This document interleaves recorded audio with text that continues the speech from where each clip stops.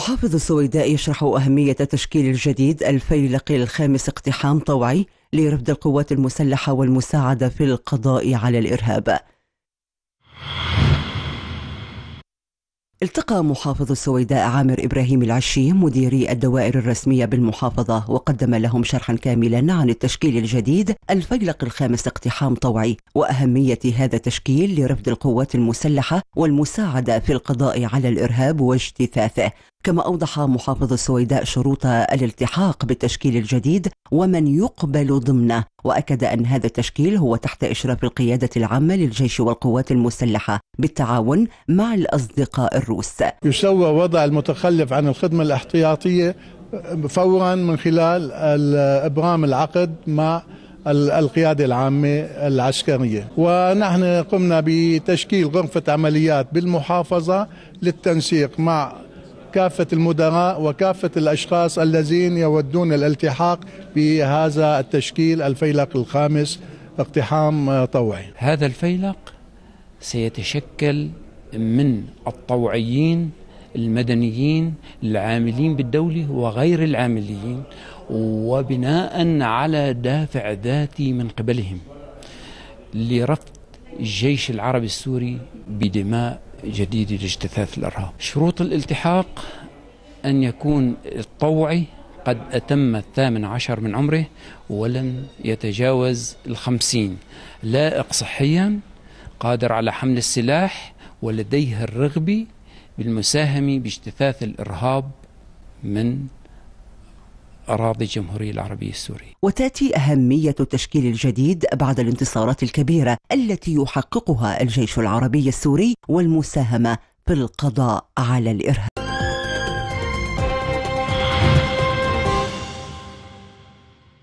حفل تكريم في دمشق لأسرة بانتظار الياسمين العمل الدرامي السوري الذي حصل على جائزة إيمي أوورد العالمية. أساسا اكبر جريمة ممكن يرتكبها الإنسان بحق حاله هو إنه يتكيف مع حرب مثل هي. القصص اللي رح نسمعها بعد الحرب. ثلاث ارباعها رح يكون كذب.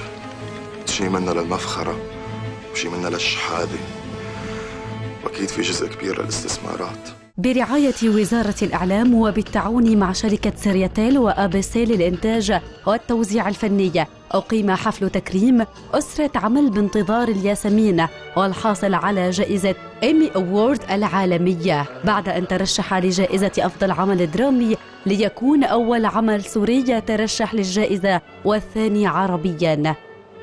طبعا نحن فخورون بما حققته الدراما السورية بشكل عام وهذا العمل بانتظار ياسمين بشكل خاص ولكن أريد أن أقول شيئا إنه نحن فخورون أيضا بما أنجزه الجيش العربي السوري الذي آه، وعده واوفى بوعده بتحرير حلب. بالنسبة للدراما السورية ومسلسل زار الياسمين إن مشاركة هذا العمل آه، في مهرجان إيمي أوورد وترشحه للفوز بالجائزة الذهبية.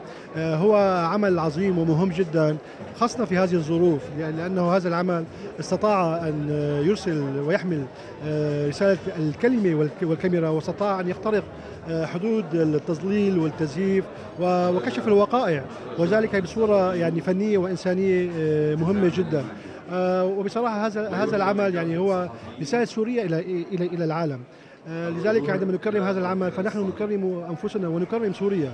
وهذا برأيي هذا التكريم اليوم يعني أتمنى أن يكون حافزا آه، لجميع شركات الإنتاج المحلية آه، أن تعمل بجد على إظهار الوجه الحقيقي للدراما السورية هذه الدراما التي يعني تحارب وبكل الوسائل يعني المعروفة. الاهم اليوم من التكريم هو لمة الإبداع اللي عم يصير فيها اليوم وحقق مسلسل سوري من جديد إنجازات جديدة مثل ايمي آه، Award.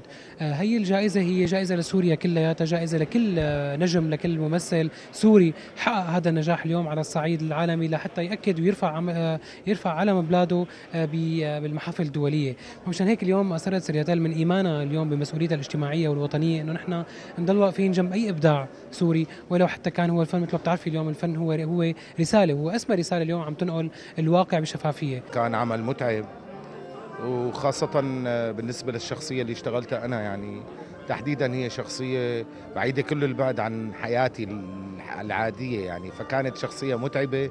حتى في بعض المشاهد أنا كنت أتلبك إنه اديها مثل خطف حرق هيك شغلات. فهي آه، حتى الكاست العمل كلياته كان متبني الموضوع. والمخرج والشركة المنتجة كمان كانت متبنية هذا الموضوع. واشتغلنا بتعرفوا كلكم ظروف قاسية يعني. أثناء الحرب وأثناء الثلج وأثناء البرد. فعلا فخورين ومعتزين بالشيء اللي قدمناه. كثير مبسوطين يعني سعادتنا كانت لا توصف لأنه نحن قدرنا نوصل صوت سوريا لكل أرجاء الكرة الأرضية وقدرنا نحصل على هي الجائزة من قلب الولايات المتحدة الأمريكية. فكان هذا شعور يعني لا يوصف صدقيني لأنه تعبنا ما راح على الأرض. نحن تعبنا بهذا المسلسل كثير الفنيين الممثلين كل الكادر تعب بهذا المسلسل. أنا بتشكرهم جميعا بتشكرهم على على الأيام اللي آه، مرت معنا وتعذبنا فيها. بتشكر جميع الكل وبتشكركم على حضوركم. يذكر أن العمل من إنتاج 2015 من تأليف أسامة كوكش وإخراج سمير حسين وبطولة عدد من نجوم الدراما السورية. ليكون بانتظار الياسمين رسالة إلى كل العالم بأن مسيرة الفن مستمرة رغم الظروف. كل ما بطلع على الناس قلبي بيتقطع عليهم وبحس حالي وحدة منهم. همي طوبى للرحماء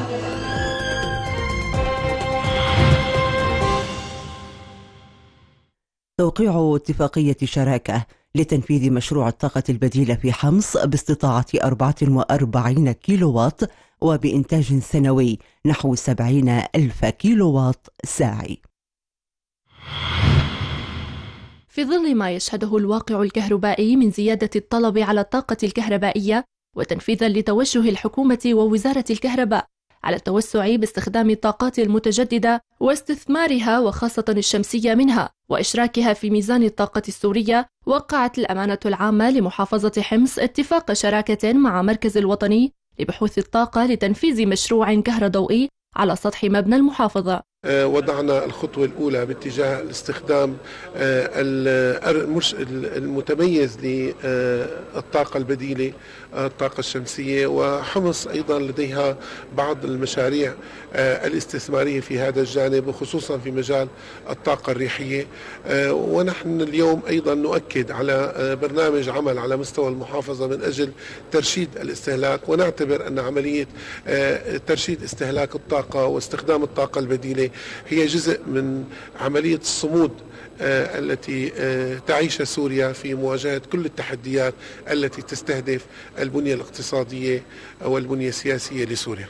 ويمثل هذا المشروع نقلة نوعية في مجال القطاع الكهربائي وهو عبارة عن نظام شمسي كهرضوئي يربط بشكل مباشر مع الشبكة الكهربائية ويعمل على توليد الطاقة الكهربائية مباشرة من خلال اللواقط الشمسية الكهرضوئية الموجودة على السطح أو مكان تركيبها. هذا المشروع نحن اعتبرناه هو مشروع رائد وباكورة أعمالنا في محافظة حمص لتشجيع الآخرين وخاصة القطاع الخاص لإقامة مثل هكذا مشاريع لأنه مثل هيك مشاريع آه، ممكن مستهلكي الطاقة في كافة القطاعات يأمنوا جزء من متطلباتهم من الكهرباء ويحقنوا الفائض منها آه، في الشبكة العامة فبحقق لهم رعاية اقتصادية في تلبية متطلباتهم ورعاية اقتصادية من بيع الكهرباء الفائضة إلى وزارة الكهرباء. هذه المشروعات تسهم بشكل فعال في تأمين جزء من المتطلبات للطاقة الكهربائية وتمكن من حقن الفائض منها في الشبكة العامة بما يحقق ريعية اقتصادية لصاحب المشروع من بيع الفائض.